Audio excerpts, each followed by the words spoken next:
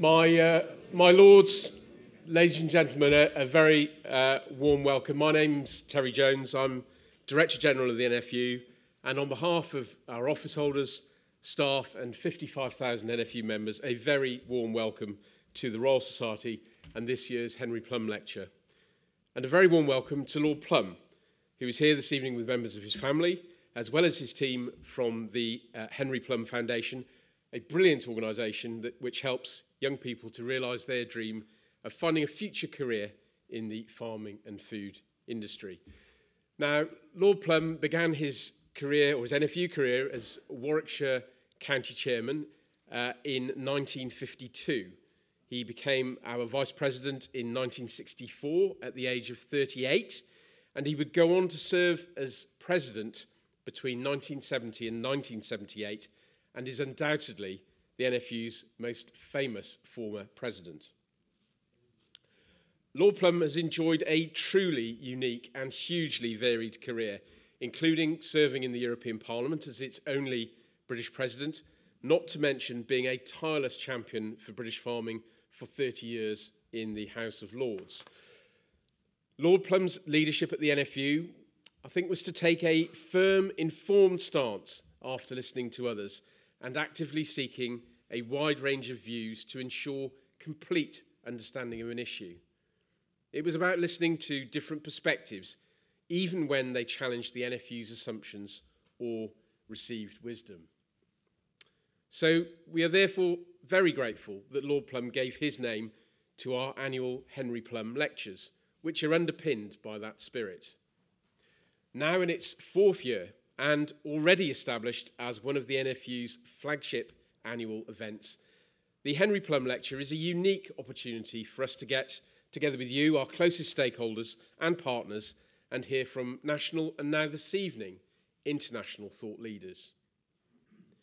People who have taken global leadership on issues that touch food and farming, the environment, and rural life. And that is why this year I am delighted that the lecture will be delivered by the Most Reverend and Right Honourable Justin Welby, the 105th Archbishop of Canterbury.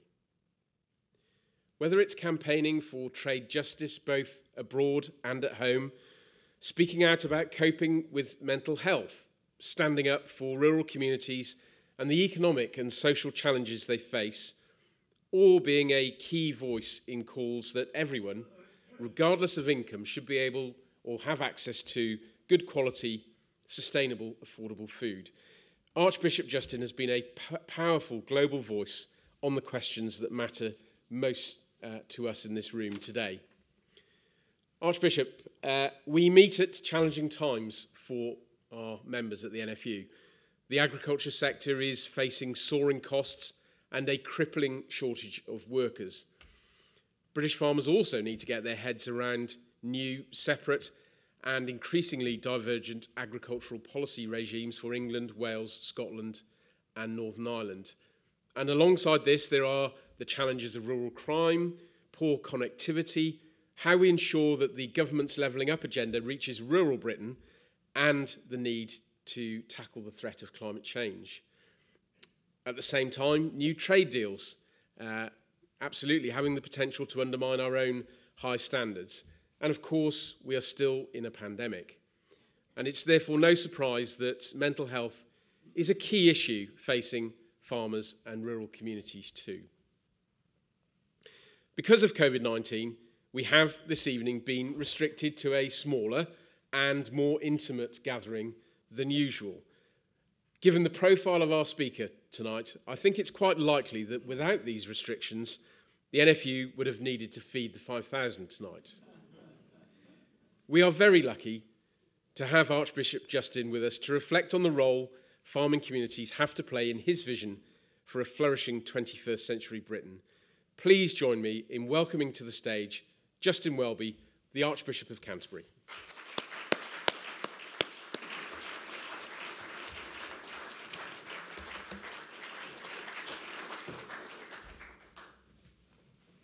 Thank you very much indeed. It's uh, a great honour to be here, and it's a particular honour to speak in front of Lord Plumb. uh, who has championed the interests of farmers as well as young people interested in farming on the local, national, and international stage. There is, of course, another reason that I'm very glad that Henry, as he kindly said I could call him, uh, is here today. When in, at the European Parliament in Strasbourg, Pope John Paul II was heckled by Ian Paisley, calling him the Antichrist, as it happened, uh, Lord Plumb, in his position as president, ordered the heckler out of the room. Uh, so I feel comfortable today knowing that he will defend me. I did once, I did once get an email many years ago. Uh, well, no, it wasn't email. It was on on the internet. Uh, there was something about me from a group in the United States which described me as the deputy antichrist. I'm afraid to say it was the deputy that really offended me.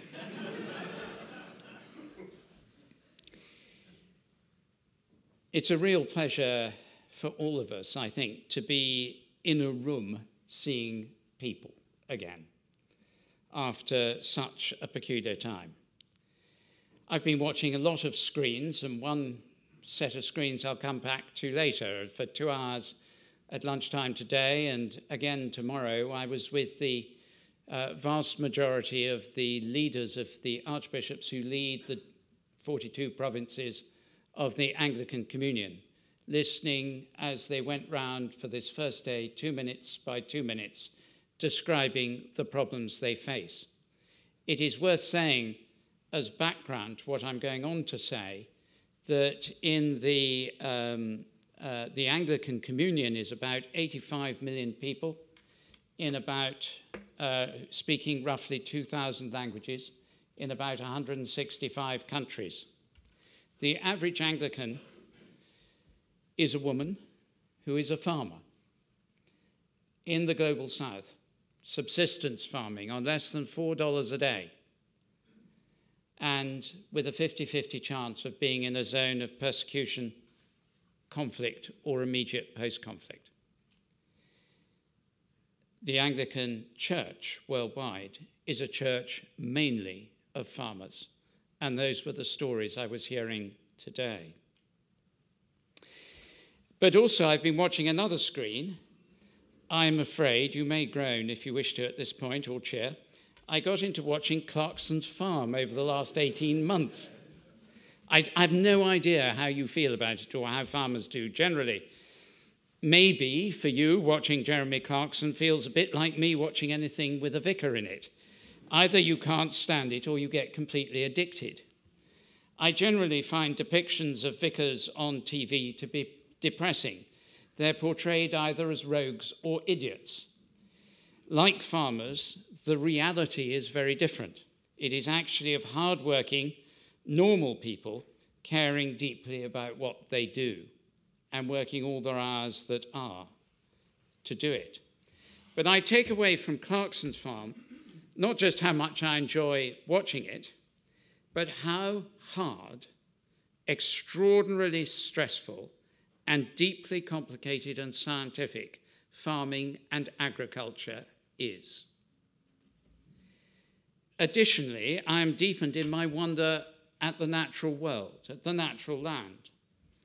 Wonder which has been there throughout my life, uh, my mother was brought up by another, by a friend of Lord Plumb's and someone else involved in farming called Richard Butler, uh, who was her first cousin. And uh, I spent much of my childhood, which for various reasons was a bit odd, uh, up on, the North Norfolk coast with my grandmother in an agriculture and obviously mainly arable area. I was a rural vicar for seven years. And as Bishop of the Diocese of Canterbury, where I serve, not most of the time, but certainly as much as I can get down there, I spend my time as yesterday in rural areas and rural villages, rural parish churches. But the wonder of the land, it seems to me to be set out beautifully in the book of Job, slightly unlikely. Job in the Old Testament is someone who is facing disaster. His family have been killed by raiders, his cattle have been stolen, his crops have been destroyed, and his house has been leveled. And he is, not surprisingly, a little cross about this and is saying to God, What do you think you're up to? And God says at the end of 38 chapters of Job, saying, What do you think you're up to? And Job's friends saying, It must be your fault, Job, or these bad things wouldn't happen to you. God says to him, when he puts the question to God, when God appears, Ask the animals, and they will teach you, or the birds in the sky, and they will tell you, or speak to the earth, and it will teach you, or let the fish in the sea inform you. Which of all these does not know that the hand of the Lord has done this? In his hand is the life of every creature and the breath of all mankind. And those words, in one sense, sum up the beauty that people experience and the extraordinary nature of farming as it has developed and continues to develop. But, as you just said, the farming community has faced many challenges of its own over the past years, and they are getting more difficult. If you look at neurological sciences, at neurosciences, and for various reasons in the summer while I was on sabbatical, I was studying some of this. The neuroscientists say that the chemistry of the brain is most adversely affected by uncertainty by sustained adversity and by the inability to control events. Does that not sum up farming to a, a, great deal at the moment? The challenges are both good and bad. Farmers are facing them globally, nationally, and locally, and they are both immediate and longer term. In reality, as we all know, we haven't yet begun to see the impact of COVID, COVID or the fallout on the new trend to working from home. Certainly in, this, in London, uh, you will find that offices are in a completely different state to where they were two and a half years ago. Our own offices uh, for the Ch- for Church House, where the administration is run, often are operating at no more than 30% uh, capacity. The rest of the people are working and working well, but they're working from home. People are saving huge sums of money by not commuting. They are trying to improve their lifestyle and their quality of life by moving into rural areas. In an area that Caroline and I know well in France, we heard this summer that for the first time in two generations, house prices are moving up. They don't move at all in France, but they're moving up because people are moving out of the cities because they can now work effectively from home and only go into their offices occasionally. There will be different working patterns, and there will even be different ideas about how and where we should live at the deepest levels. For farming communities and rural communities, some of these will be a threat and others will be a huge help and improvement. Most villages in the country would love the idea of some young families moving in, of shops reopening, of there being a school closer, of all the things that go with a flourishing all age community. Throughout the pandemic, however, it's been shown that communities the size of rural communities flourish. Villages did extremely well in comparison to urban areas, unsurprisingly, because farmers and farming communities are like this, in terms of community health and help and weathering the pandemic. They are wonderful places for people to live and they can have, and I believe they really can have, an exciting future of which I hope the church can be and is called to be and ought to be at the heart. Community, the living in abundant and flourishing communities, is clearly the key to unlocking the potential of the future. Community means living in places where you can build relationships that enable us to support and encourage one another during difficult times and celebrate and empower one another in better times. When I was in my two rural parishes, one was a small market town, the other was a small village, the, um, uh, the local church in the village had a churchyard wall that was falling down. Nothing very unusual about that. And I was muttering to one of the local farmers after a service as we looked at the wall crumbling into the road about the amount of paperwork I'd have to do in order to get what is known in church circles as a faculty in order to get permission to repair a wall that was perfectly easy to repair. And it would add thousands to the cost because they would insist it was done in a certain way. And he looked at me and said, I wouldn't worry about that. Just leave the paperwork for a few weeks. So I did. I was sensible enough. A few weeks later, the wall was somehow all in one piece. And I said, Jack, um, the wall seems to have miraculously reassembled itself. And he said, Oh, I think the fairies did it. so I gave him a very level look, six foot four of him. But they'd obviously got together with some other farmers and they'd spent half a day just sorting it out farming, agricultural, rural communities think it normal to help out and to help one another out. They are good communities. But as the dust begins to settle, we know that we are in a time of unprecedented change. And I'm very against the word unprecedented, but it is happening. And that change has been wildly accelerated by the pandemic.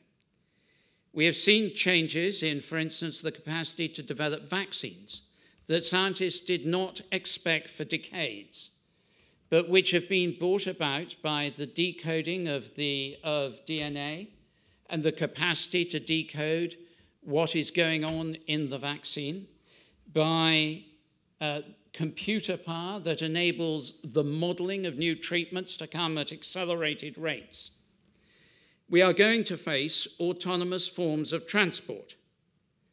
They are now practical, just about, provided you don't mind when you're driving down a motorway at 80 miles an hour, switching everything off, waiting 30 seconds, and switching it on again, as we have to do with our computers the whole time. It does seem to me to be a drawback if we ever get autonomous aircraft.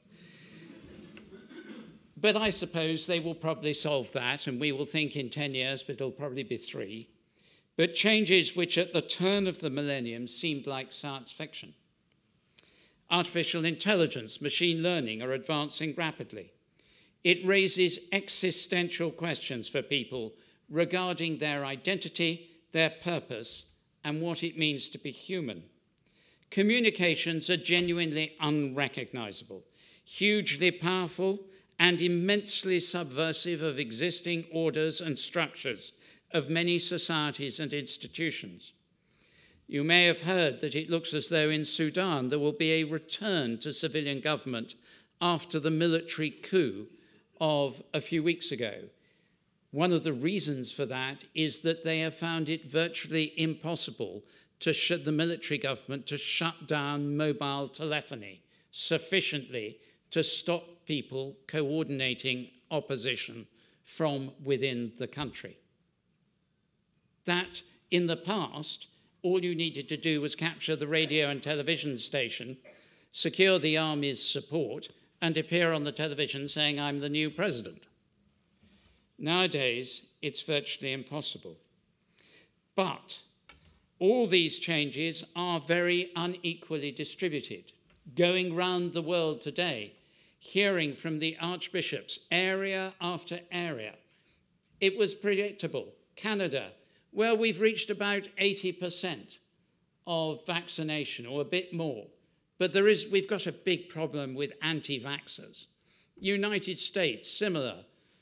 Uh, even countries like Mexico, similar. Sudan, South Sudan, around 2%. around 2%. And some countries, they didn't know anyone who'd got the vaccine. These inequalities are not only a profoundly moral failure, they are also a logistical failure, and they are also a failure of imagination because, as the head of the World Health Organization says everywhere, this will not be defeated anywhere till it's defeated everywhere. Medicine is advancing, as I said, ever more rapidly. Social tensions are growing as traditional societies and structures either resist or seek to adapt to change.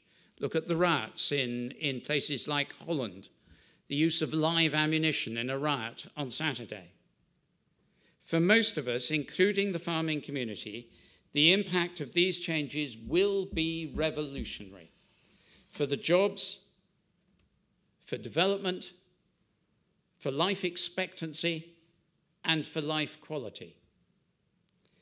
And of course, above all that and over all that, there is the threat of climate change. The Archbishop of South Sudan, at about quarter to one today, he said roughly half my country is underwater. Half my country is underwater. What will that do to the farmers there who are subsistence farmers on whom getting the crops in depends on whether they eat or die over the next 12 months. And climate change will not only define our livelihoods, but the lives of every single one of us, our descendants, if rapid action is not taken. But change, as we know, as the NFU has shown over many, many years, when we joined the European Union, common market as it was then, and now, farmers have always been those who are able to adapt to change. And that means opportunity if we seize it, shape it, and mold it. The past 20 months have shown us to be aware of the connections that we didn't always see, but are vital to our communities. It's taught us that our welfare is dependent on our neighbor. None of us lives and dies for themselves alone. There's an expression in southern Africa that I was taught by Archbishop Tutu, he who stood up and uh, fought the apartheid regime so extraordinarily without drawing a weapon. He said, We believe in something called Ubuntu. Ubuntu is a, a word that is, it's a concept that essentially means I exist only because I'm in relationship with you. We are interconnected. And we're interconnected on a global as well as a local scale, as farmers know well from what happens when new sources of crops come from far away at great carbon cost and undermine local markets. No one over the last few months here will have failed to notice the implications of some of the things that happened over the past few years, few months even. Concerns about supply lines. You've mentioned absence of labor, and it's affecting so many people. And worries about food prices. Those worries, of course, come at both ends of the supply chain. Farmers are worried about food prices for good and sufficient reason, that they can't get enough money to make it worthwhile keeping on producing. And the lower paid, the working poor, are worried about food prices because they find themselves going to food banks. And it means that people are beginning to know what goes into things we took previously for granted and expected to show up magically on our shelves and tables, supplied by the same fairies that mended my churchyard wall. In the last few months, we have peeled back the skin of our society, and we have found that inequality and injustice has made a home in our country. But we have also paid tribute to the hard-working people who keep it going. This is an obvious statement with which I'm sure you will agree, but during the pandemic, we saw firsthand that farmers are key workers. We saw how precious and valuable their work is and how we need to look after them as we emerge from the pandemic. I will say again and again in this lecture that the first job of farming is to produce food. And when it fails to do that, we are all in trouble. That is why we are not in the position of South Sudan, because farmers here produce food adequately, brilliantly, hardworkingly, and against the odds year after year. So, within that, a few words about some of the challenges that farmers face. I'm going to talk particularly about mental health and health and safety, isolation and deprivation. It's a very tough time for many involved in farming. The Farm Safety Foundation ran a survey which found that 88% of farmers cite poor mental health as the biggest hidden problem facing the industry, an issue that will only have been exacerbated by the pandemic and shows no sign of abating. Someone like Jeremy Clarkson is okay because he's surrounded by people who are filming him. He's got people he can talk to. He has the extraordinary Kaleb and other people like that who tells him to do things that probably as Archbishop of Canterbury I shouldn't repeat. The ONS reported that in 2019 20, before the pandemic, 133 people working in farming and agricultural trades took their own lives. Health and safety is, is a real issue. Agriculture has the worst rate of fatal injuries of all the major industrial sectors, 20 times higher than the average five year annual rate. In the last 10 years, one person a week has been killed as a direct result of agricultural work. Many more have been seriously injured or made ill by their work. Just over one in a hundred workers work in agriculture, but it accounts for about one in five fatal injuries to workers.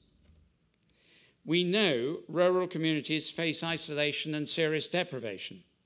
We know that the number of families categorized as homeless in rural local authorities has risen to almost 20,000 a 115% increase on 2017 to 18. The storms they have weathered over the last few years have been deep and extraordinarily painful. And now we are at a juncture, and the future can go two ways. Will we treasure and support our farmers, provide them access to good health care, especially mental health care, bolster community support, campaign strongly for education, equipment, and legislation that enables farmers to do their jobs safely and profitably. The biggest lesson I've learned from 40 years working, including in the oil industry and running bits and pieces of the church from local parishes for many years, through an NGO working in conflict around the world to now in the Church of England nationally and internationally, is Micawber's lesson that if you have a pound more going out than coming in, the result is misery. And if it's the other way round, the result is happiness. And Mr. Micawber's great mistake was today something will turn up, because it doesn't always. So, profitable farming is a serious foundation of effective farming. It is necessary. Will our rural areas be active, lively places where the future will happen full of energy and innovation? Most of the Church of England schools are, I can never get the, the thousands right, I think it's 4,700 or something like that, with roughly a million children in them. The vast majority are in rural areas. They're small rural schools, often with 40, 50, 60, 70, 100 people in them, one class of entry. We cannot keep them open unless government is prepared to pay the costs of keeping rural schools open. But if you lose your school, you lose one of the main areas of support for the community. You lose the opportunity to get young families to move into the country and educate their children. It makes them harder. It makes it harder for them to start farming or to work in agriculture. Or will, if they are not, if rural areas are not active, lively places full of energy and innovation, will they just be areas of rest and recreation, preserved in aspic for those who are able to afford it? I have nothing against rest and recreation before anyone jumps at me and say, Archbishop is a workaholic. If there was a, an Olympic sport in sleeping, I would be a gold medalist.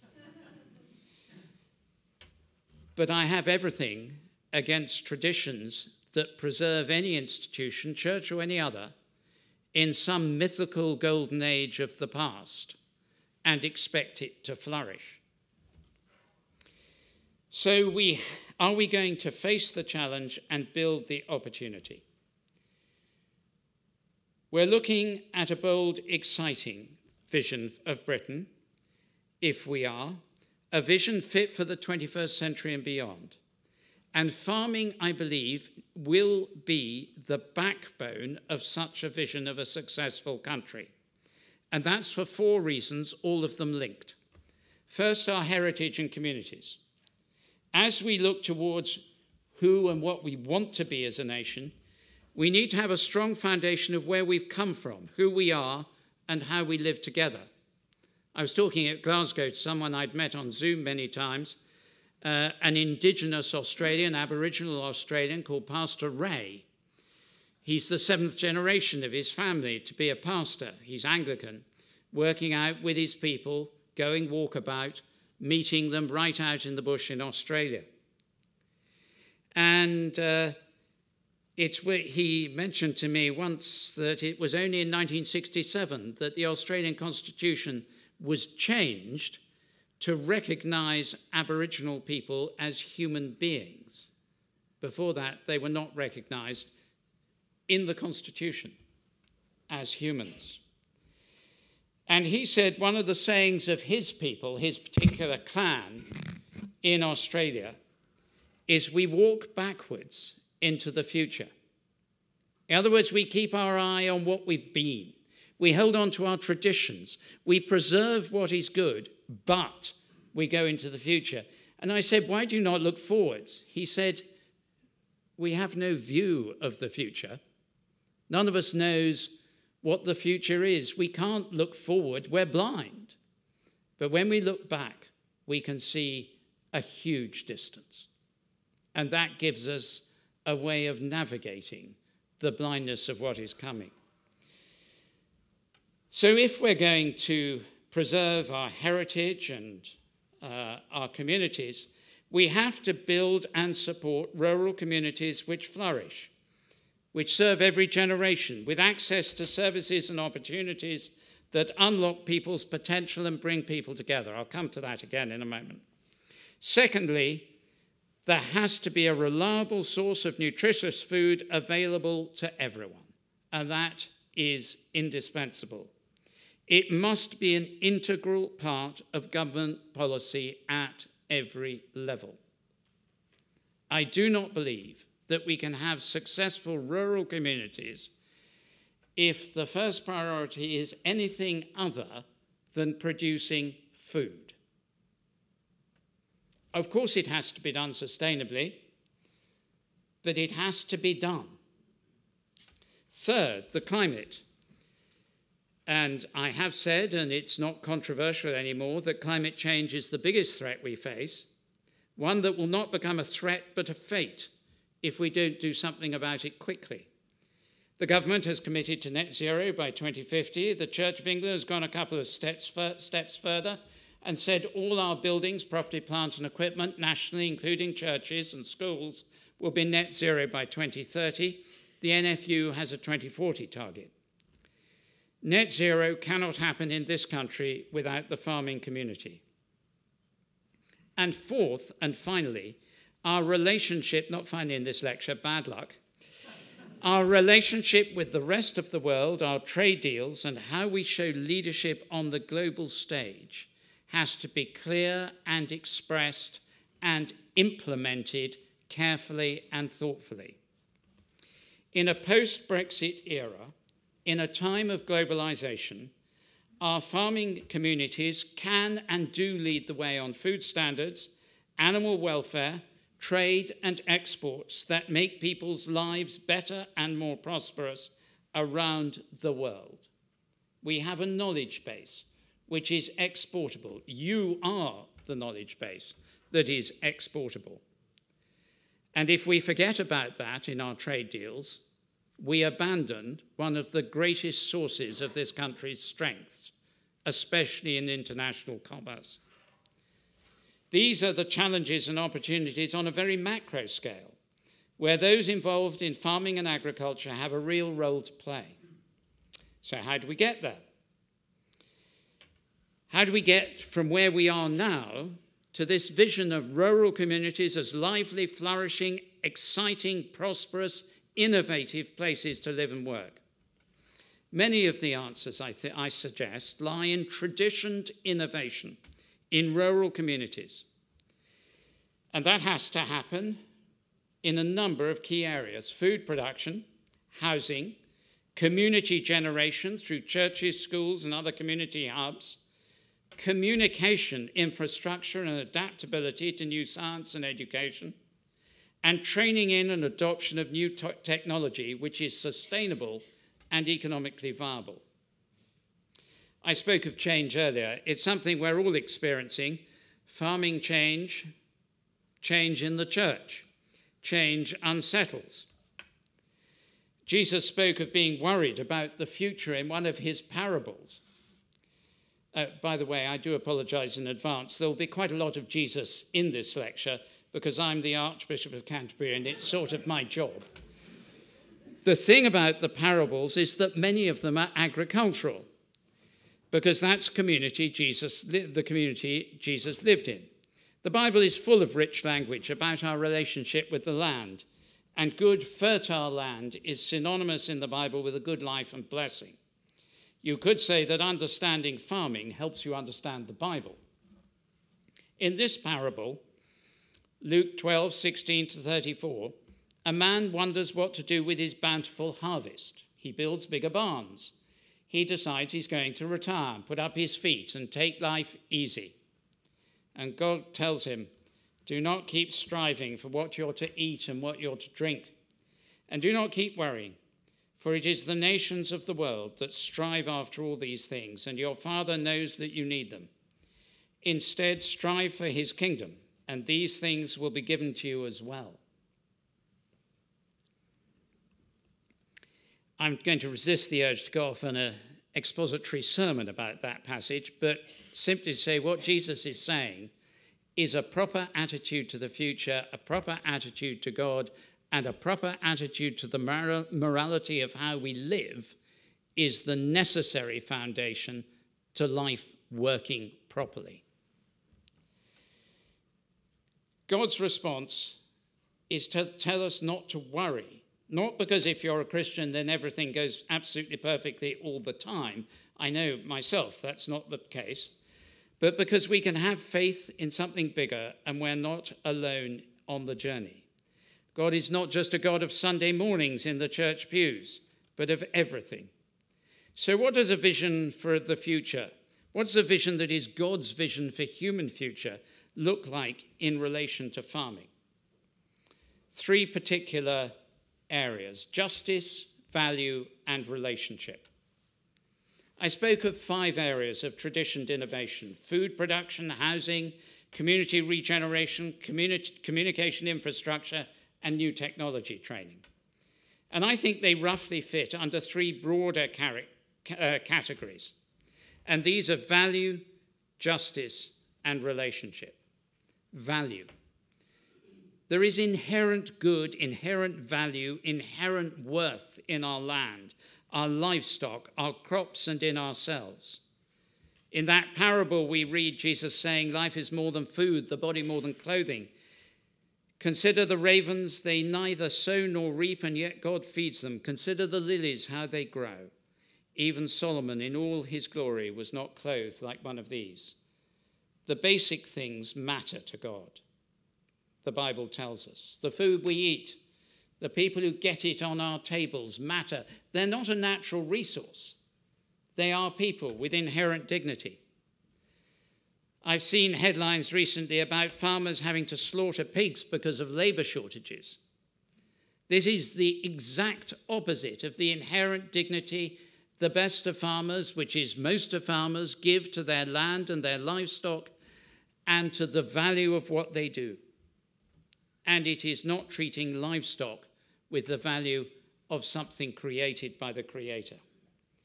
We need to pay fair prices for work and fair prices for produce. Justice. When you appreciate the value of things, you want them to be treated fairly. You hunger for justice. Food justice is a major issue. Everyone should be able to afford good, nutritious, healthy, sustainable food.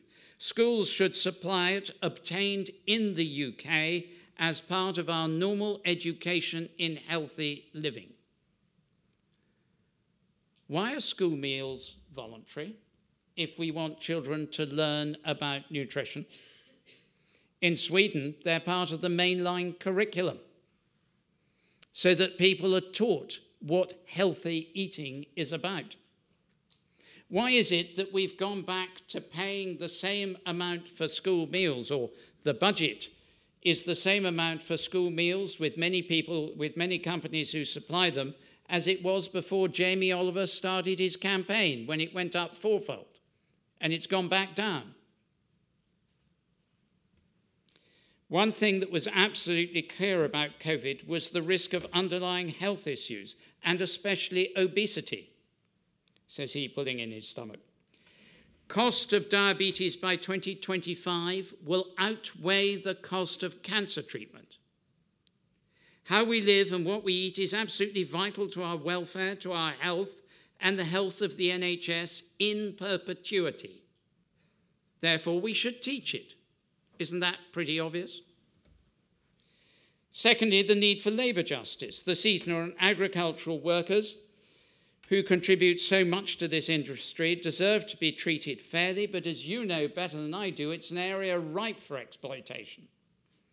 The Clewer Initiative is a partner of the Church of England, working within all 42 of our dioceses where it seeks to combat modern slavery in all its forms.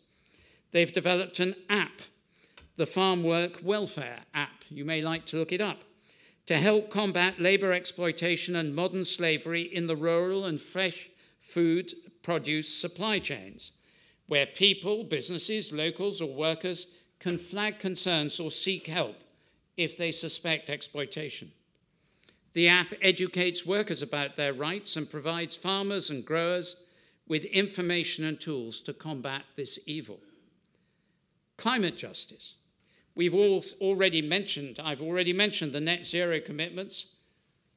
We still need to learn to eat locally, seasonally, and more consciously. We need to cut food waste. Food waste costs over 19 billion pounds a year in the UK, emitting 25 million tons of greenhouse gas. We need to develop and adapt new technology and take advantage to produce renewable energy. Some fascinating scientific developments are pointing us towards more climate friendly and efficient production, like technology that monitors closely the nitrogen content of soil or genome editing, which can increase the efficiency of cows' milk production. Science is not a threat when it is held within a moral framework. And economic justice for rural areas this includes the need for housing, which is affordable, education centres, schools, broadband, and other opportunities to learn to do business. Earlier this year, the Archbishop's Commission on Housing, Church and Community, set up by myself and Stephen Cottrell, the Archbishop of York, issued their report. They focused on the vital importance of building not just housing, but community, and looked at how church land might be used for the provision of affordable homes.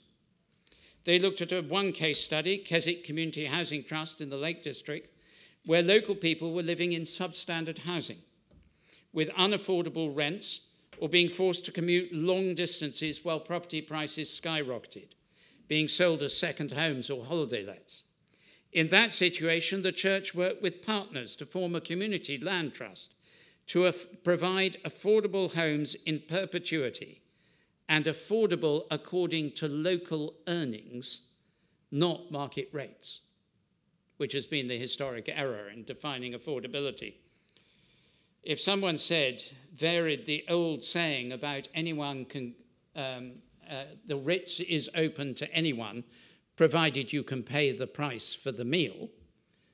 And they said, We're going to have an affordable Ritz, and the price will be 75% of the non affordable Ritz.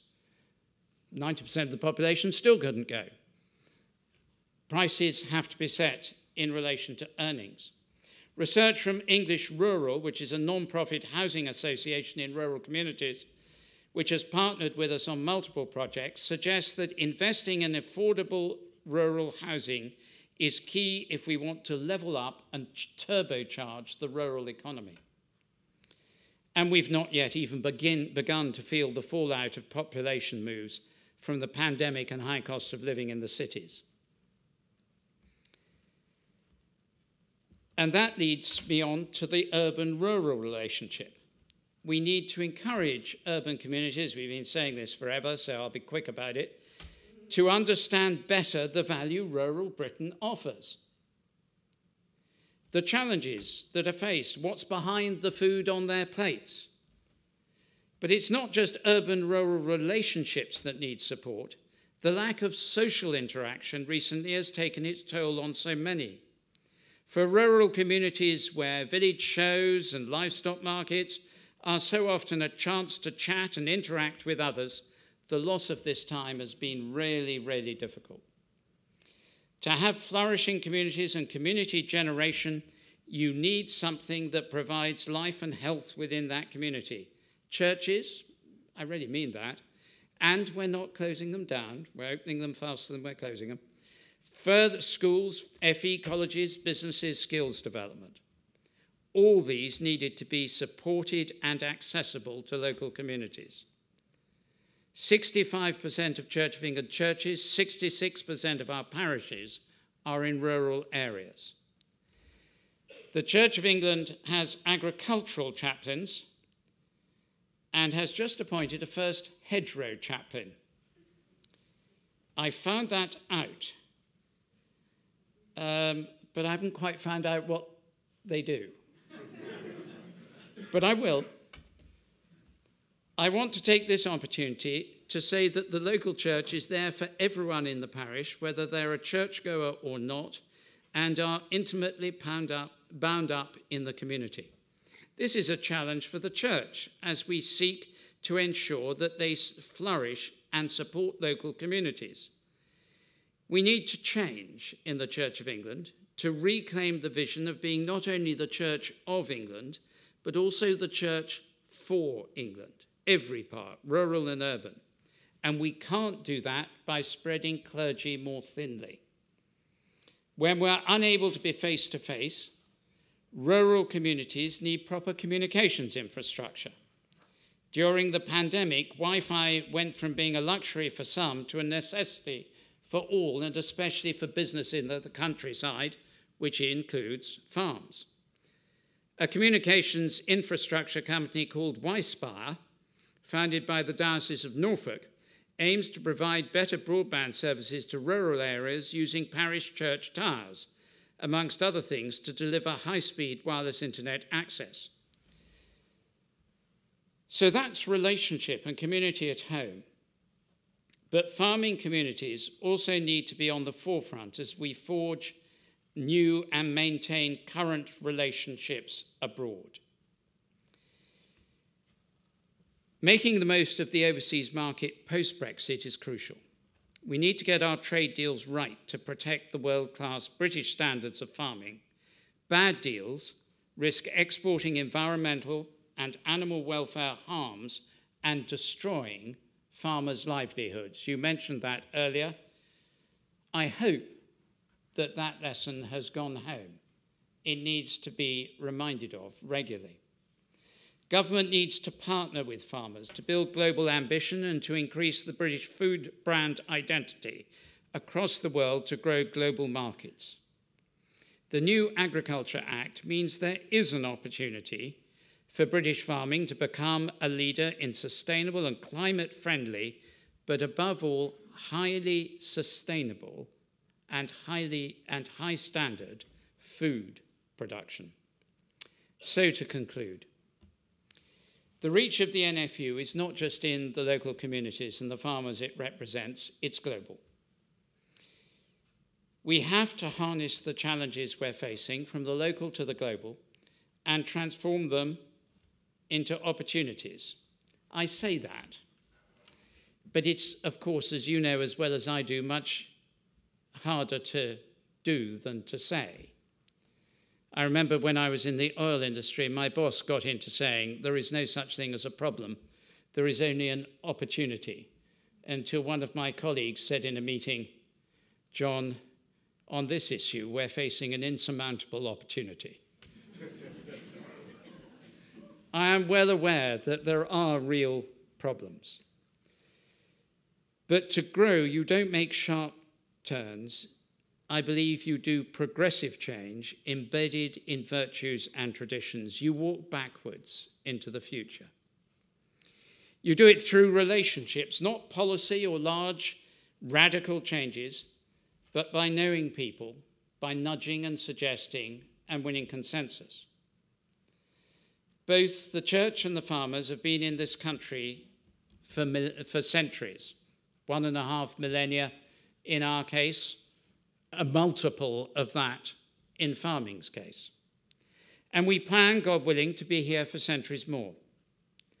But if we want to be a leader in the 21st century, we need to take a leaf out of the farming community's book adaptability, resilience, and above all, hope and a bit of faith. God tells us that He is with us in all seasons of feasting, of fasting, of sowing, of reaping, and in fallow times. We can put down firm roots in values and communities, and those roots enable us to be resilient and flexible when storms come. They are what will help us, the country, our farming communities, and the church, to be ambitious and innovative as times change. That way, we can ensure we fulfill our potential and flourish together as the farming industry cares for our well being, our environment, and our economy for many years to come. Thank you.